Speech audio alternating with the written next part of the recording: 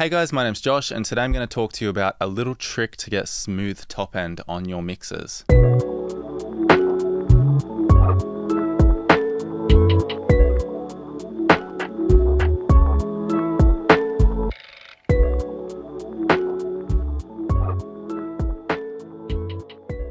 So in mixing and mastering, there are many ways to get smooth top end. Um, today I'm just going to talk about one method, and this is going to be more for your mix bus or mastering stage, um, just to help you get a nice smooth top end, that kind of silky and pleasant sound. So for this, I'm going to be using a song by Indigo Bloom called Smile My Way. Thanks for letting me use the song, um, but let's get into it. So the trick I'm going to be using today is boosting top end with an EQ and then using a de-esser to control it back down. And what you're left with is kind of a nice open top end that sounds very controlled. You can use this on instruments like vocals, uh, especially vocals actually. It sounds really good on vocals, but I'm gonna show you on the mix bus. So I'm gonna start by playing just the original signal all that's on this is just a little bit of clipping and limiting. If you haven't seen my clipping and limiter video, then I suggest you go do so. I think I can leave a card here if you'd like to do that. I talk about the difference between clipping and limiting and when you should use each.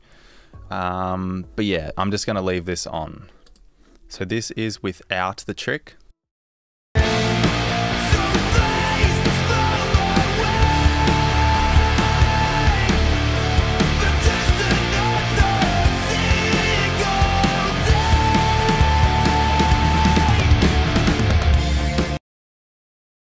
And for me, that sounds quite bass heavy, kind of a little bit overwhelming. So I decided to boost the top end quite a bit.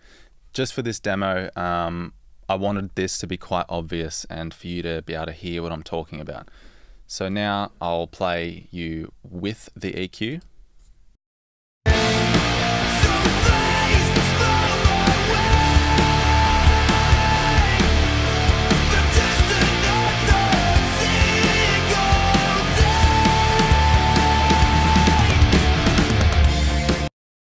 Yeah, so quite bright. Um, I think the S's are getting a little bit brittle and poking out a little bit too much, but overall the top end is there. It sounds open, but with this Weiss de-esser, we're just going to control back those peaks so it's a nice consistent layer, giving you kind of a more silky sound. So this is with the de-esser.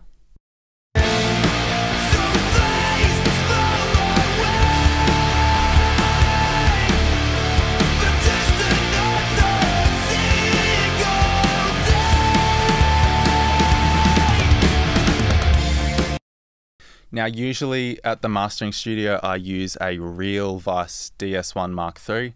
Um, but for today, I'm just going to use the plugin just because I'm at home. And for this de-esser, I've just got a shelf at 5K, so it's affecting everything above 5K, and then set the threshold to where I think sounds good.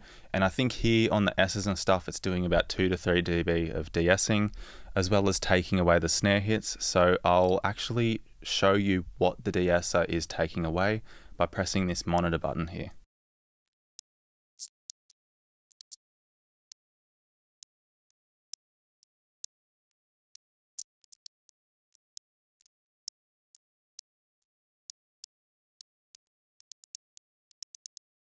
So you can see it's taking away a little bit of the clicks of the snare, um, which I think sounds good as well as the S's, it's definitely like controlling the S's down, which was the main issue, I believe. So now I'm going to just flick between before and after, starting with before.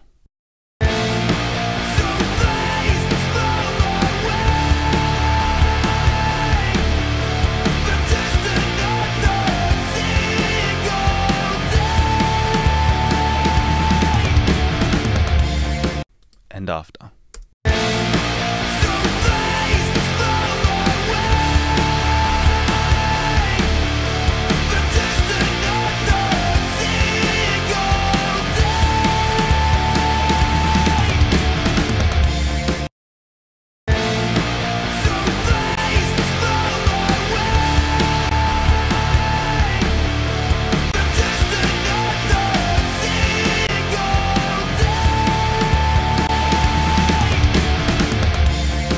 Yeah, so quick little example of how you can boost the top end into a de-esser and it kind of just makes the whole thing sound more open without actually getting more brittle or harsh because the de-esser is controlling it down.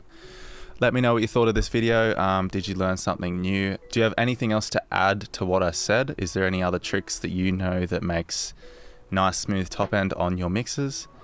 I'd love to know, so leave it in the comments below. Otherwise, thanks for watching and I'll see you in the next video.